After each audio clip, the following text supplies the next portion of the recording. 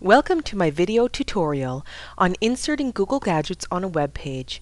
This is an introduction for novice web content managers. Google Gadgets are dynamic web content that can be placed on any page on the web. Gadgets can be games, mini applications, news feeds, maps, or any content. Gadgets can be informative, such as a news feed, or the current temperature. They can also be helpful, such as a Wikipedia search box or a translator. And they can be fun, like the quote of the day or a Facebook feed. Let's look at some examples of how websites are using gadgets. Here we're looking at the World Wildlife Foundation that's using a counter gadget to count down to the number of days and hours until Earth Day. Here is an example of using date and time gadget. And lastly, a Facebook gadget. Gadgets are free, easy to use, and can be embedded on any web page in three simple steps. 1. Find your gadget. 2. Obtain the embed code. And 3. Insert the gadget on your web page. Step 1. Find your gadget. The first thing you want to do is go to Google or any search engine and type in the search term Google Gadgets, or you can go directly to google.ca slash ig slash directory. Here we are looking at the iGoogle Gadget homepage. This is displaying a listing of gadgets by hottest or most popular.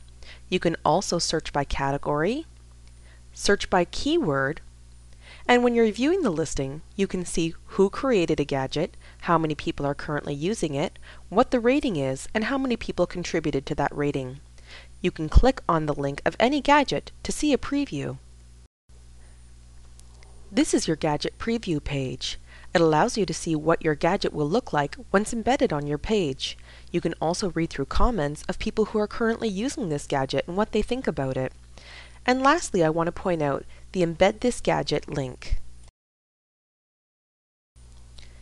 Step 2. Obtain the embed code. Returning to the preview page, you need to click on the Embed This Gadget link, located here. This will take us to the page where you can customize your gadget. You can configure your display settings, preview your changes, and when you're happy with how it looks, you can click on Get the Code, which will provide you with your script tags. These script tags you'll want to copy and save to your clipboard. You can do this using keyboard shortcuts. Control A will select all your text, and Control C will save your selection to the clipboard.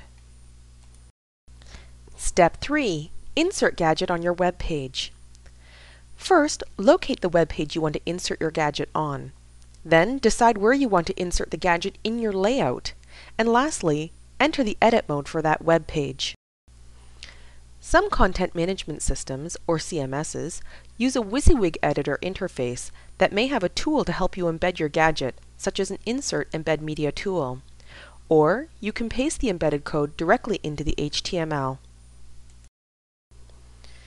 In this example, we want to replace this Facebook image and hyperlink with a Facebook gadget.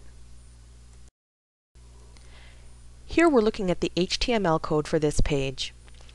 I've located the Facebook image and hyperlink reference and I've updated it with my script tags.